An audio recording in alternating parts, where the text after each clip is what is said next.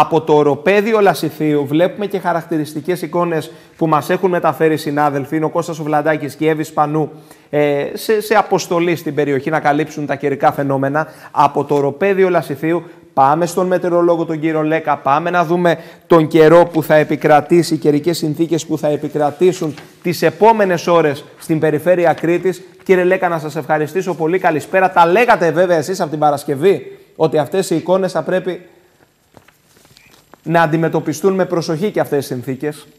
Ναι, καλησπέρα και εσάς, καλησπέρα στους τηλεθεατές σας. Ε, νομίζω να είχαμε προειδεάσει για όλο αυτό που μας περιμένει.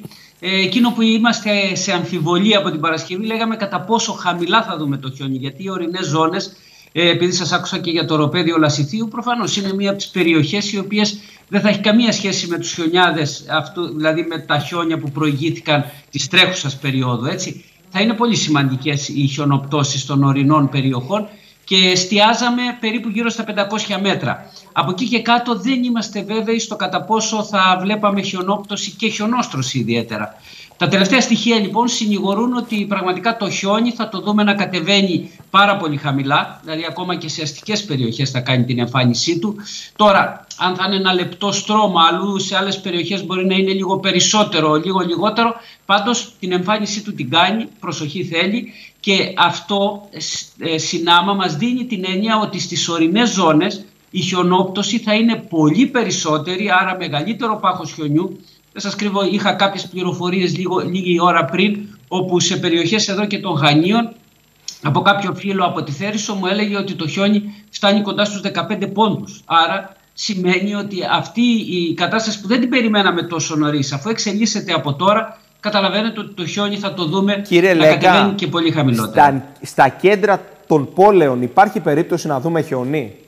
Ναι, βέβαια, υπάρχει. Και να το στρώσει κιόλας. Δηλαδή στο κέντρο του Ηρακλείου, για παράδειγμα, ή στα Χανιά, να το στρώσει; Ναι, βέβαια. Το, ε, σας είπα, είναι άγνωστο, δηλαδή αυτή τη στιγμή δεν μπορεί να προσδιοριστεί και ακριβώ αν θα είναι δύο πόντους, τρεις πόντους, πέντε πόντους στο χιόνι το οποίο θα ρίξει εντός των πόλεων. Αλλά από ό,τι δείχνουν όλα τα στοιχεία φαίνεται ότι το χιόνι κατεβαίνει πραγματικά και για τα βόρεια αστικά κέντρα, έτσι, γιατί ο νότος δεν έχει, οι πιθανότητες του είναι πάρα πολύ μικρές. Αλλά για το βόρειο κομμάτι, ε, κατά μήκος όλου του νησιού, δηλαδή ναι. από ανατολικά μέχρι δυτικά, φαίνεται ότι πραγματικά το χιόνι θα το δούμε να θα φτάνει ακόμα και σε αστικές Και θα διατηρηθεί, κύριε Λέκα. Είναι κάποιες ερωτήσεις, κάποιες απαντήσεις που οι περισσότεροι καταλαβαίνετε. Είναι ναι. όμορφο να βλέπει κάποιος χιόνι και δεν το βλέπει και δεν το βλέπει και συχνά, βέβαια. Ε, σίγουρα. Ε, κοιτάξτε, το χιόνι στις χαμηλές ζώνες προφανώς και δεν θα διατηρηθεί για πάρα πολύ, θα λιώσει γρήγορα. Ε, άλλωστε η καλοκαιρία των επόμενων ημερών θα το βοηθήσει να λιώσει.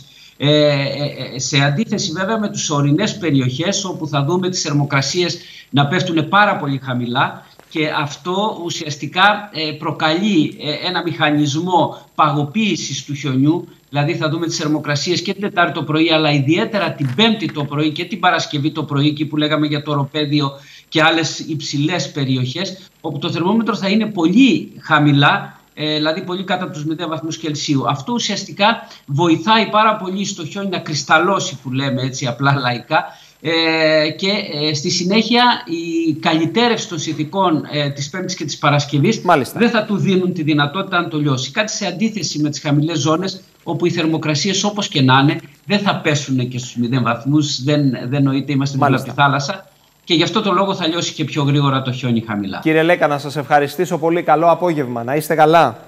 Καλό βράδυ.